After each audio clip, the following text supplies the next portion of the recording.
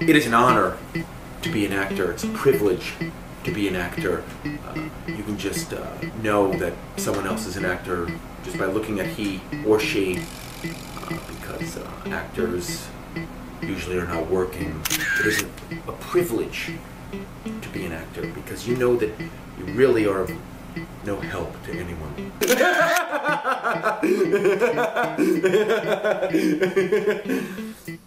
I wish I could go on vacation.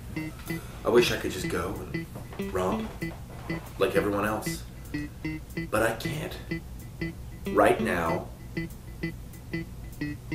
Because I am broke. For me, it's all about KFC. It's just good chicken.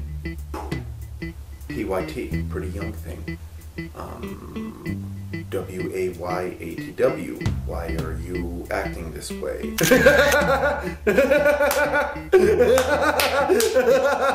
As an actor, when you drive past an accident and you see it, don't do anything because you don't want to be involved with insurance and any sort of litigation. The rabbit walks over to the tree and sees that there's all this fruit on it and is gonna go eat of the apples. And then what happens is um, the elephant comes over and goes, "Hey, Mr. Rabbit, don't eat those apples." I've traveled all over Los Angeles, uh, from Santa Monica to Van Nuys, Encino, the Valley proper, and you meet people in convenience stores, the leaders of these convenience stores, and you look at them and you ask, is this public, are patrons allowed to use this restroom? And they know. They know.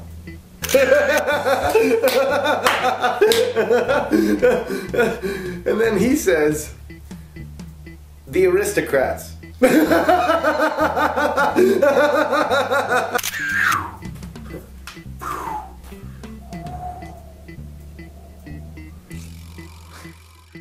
is the time to help the Writers Guild of America.